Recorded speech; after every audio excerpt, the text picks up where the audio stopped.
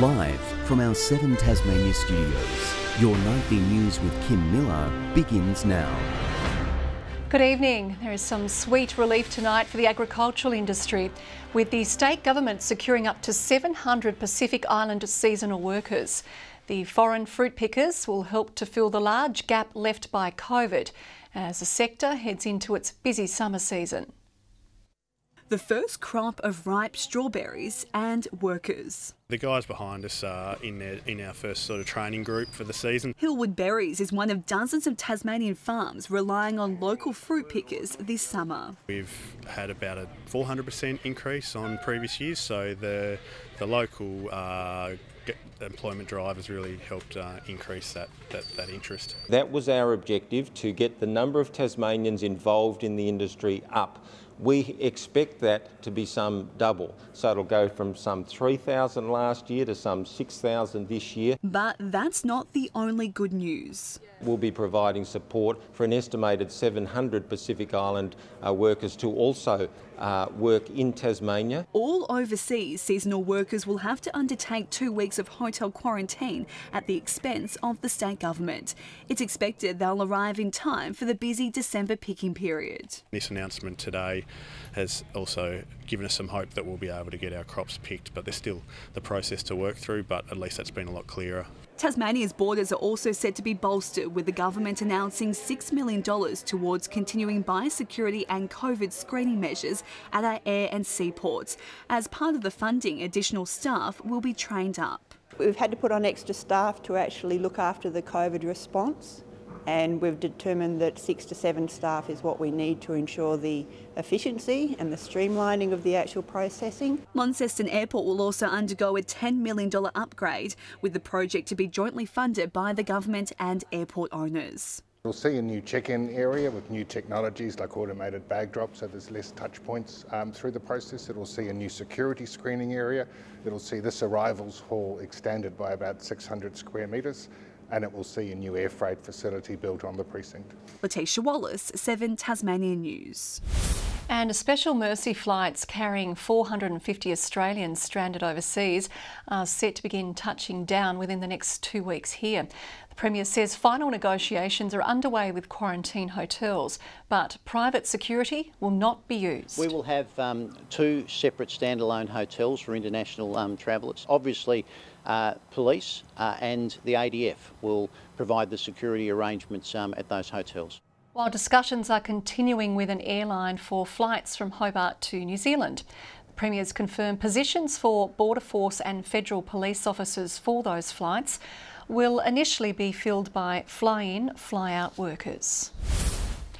The small business hardship grants controversy continues, with the Greens aiming to spark an Integrity Commission investigation into potential misconduct.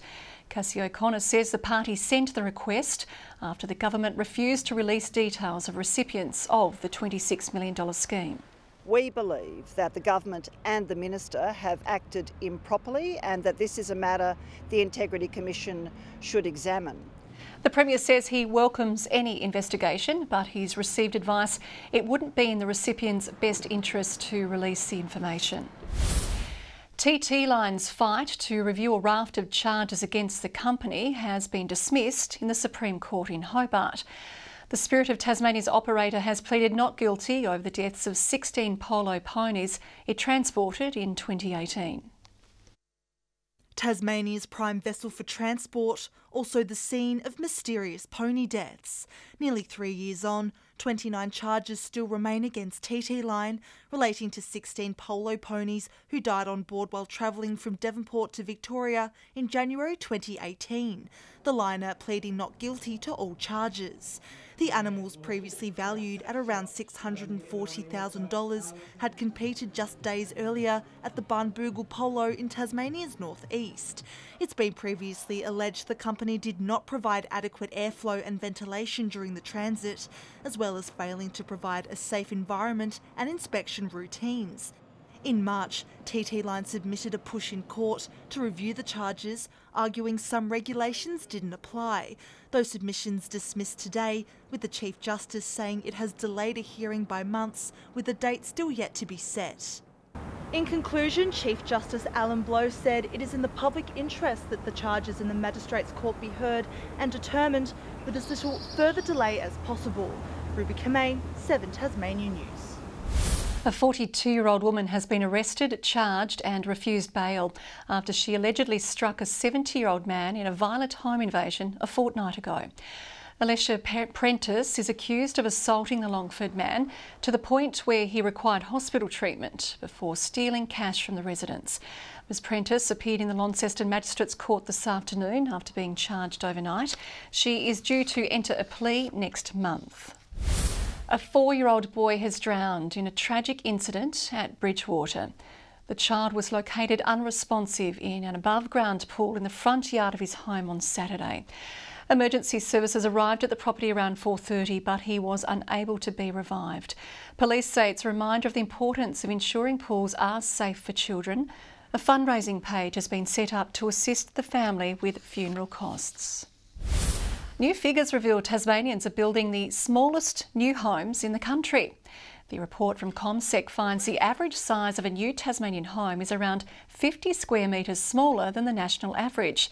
Tasmania is also the only state or territory where the size of new dwellings, including apartments, shrunk from last year. Nationally, homes are getting bigger, with Australians having the second largest in the world behind the United States. The Workers' Union has raised concerns apprentices could be spending less time on the tools under a new federal proposal.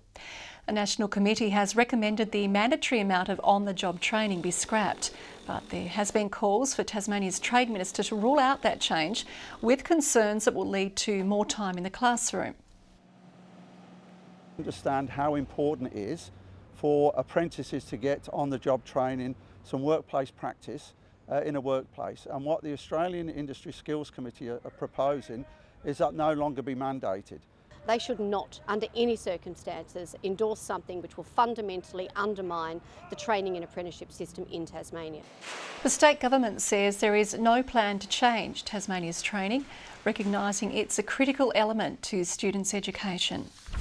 The state's peak motoring body has released new data to help Tasmanians choose wisely when buying a car revealing the total operating costs of a Kia Cerato are the cheapest in the small car category, averaging around $182 a week, while SUVs in general are 10% more expensive than comparable non-SUVs. The RACT says buyers should consider all the costs. Our insurance, our fuel, our servicing and our tyres, but it's the costs like depreciation uh, over the life of a vehicle. Vehicles were assessed in several categories over a five year period. Tasmanians will commemorate those who fought in battle this Wednesday for Remembrance Day. But the day of memorial will be a little different this year, with the state's RSL electing not to have a public service. Vietnam vet Brian McKenzie says that he celebrates Remembrance Day every day. However, November 11 is the most important one. It's a, it's a day where personally I remember mates that didn't come home during, during the Vietnam War. The pandemic means this year's commemorations will be like no other, but our soldiers will still be honoured. And I think at the end of the day, we uh, we need to need to remember people that, in particular, give their lives for their country. The RSL of Tasmania won't be holding a public service for Remembrance Day this year. Well, the big thing this year, which is restricting us with Remembrance Day, is the fact that we've still got COVID 19 restrictions applying.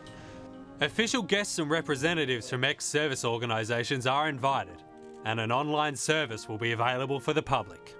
It'll be available to anybody and will be available in most RSLs. We'll be streaming the event as well. For those who can't get there, a simple request.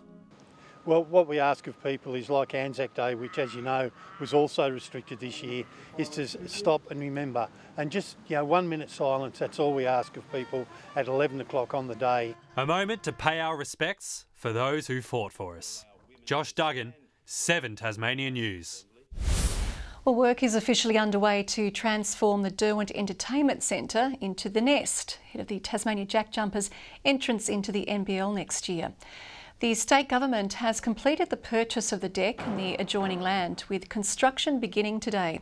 But the search is still underway for a head coach for the team. We are in we are in discussions with some coaches who are currently overseas, but unfortunately, with contractual arrangements with players and coaches and whatnot, it may not be possible to announce somebody who's in contract.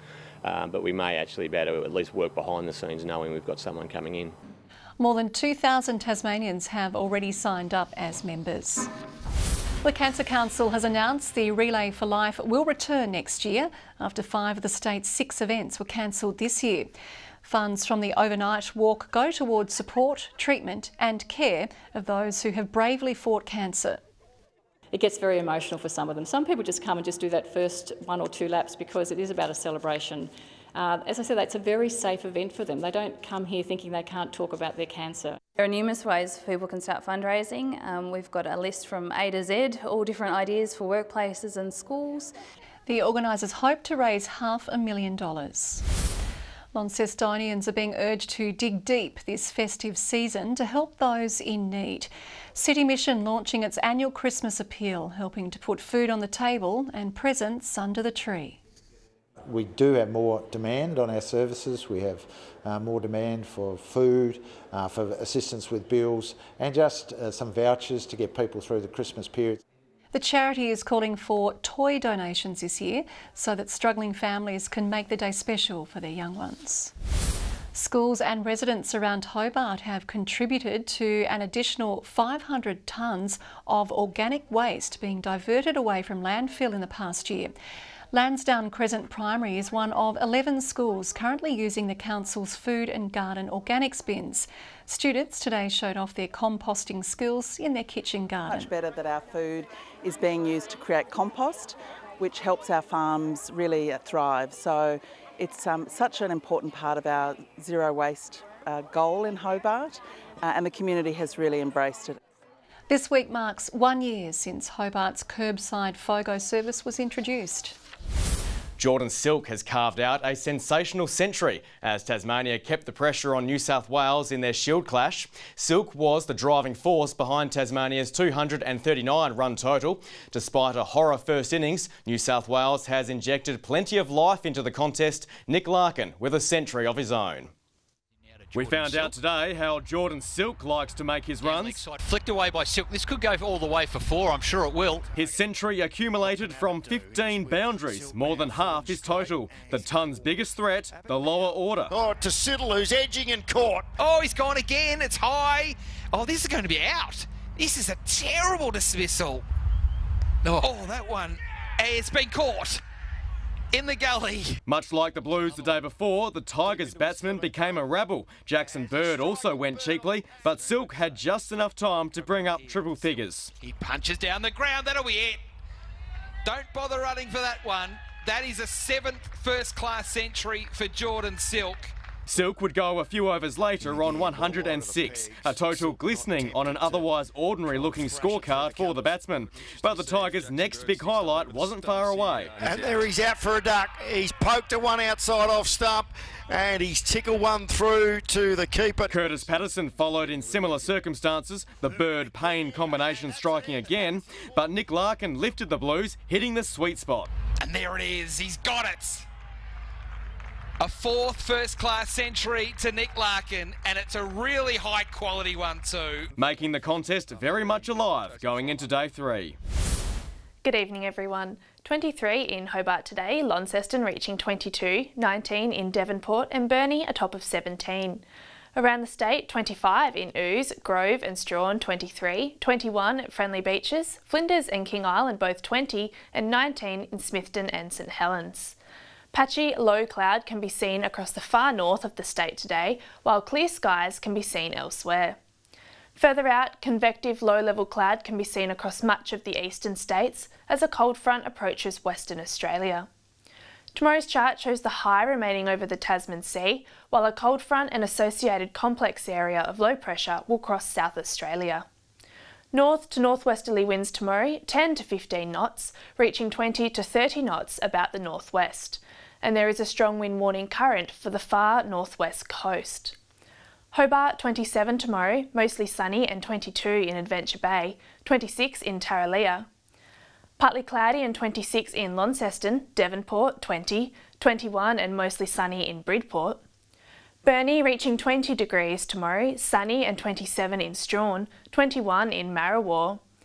And in the east, partly cloudy and 22 degrees in St Helens, Swansea 25 and 21 in Whitemark. And the UV tomorrow is very high across the state. Looking on to Wednesday now, showers developing about the west and the northwest in the afternoon. Showers contracting to the north, west and far south on Thursday. And on Friday, showers also contracting to the northwest and far south. 20 in Perth tomorrow, Adelaide reaching 36, mostly sunny in Melbourne and Sydney, and partly cloudy and 26 in Brisbane. And currently Hobart mostly sunny and 21, 18 and mostly sunny in, in Launceston and Devonport partly cloudy and 16. And that's all the weather tonight, Kim.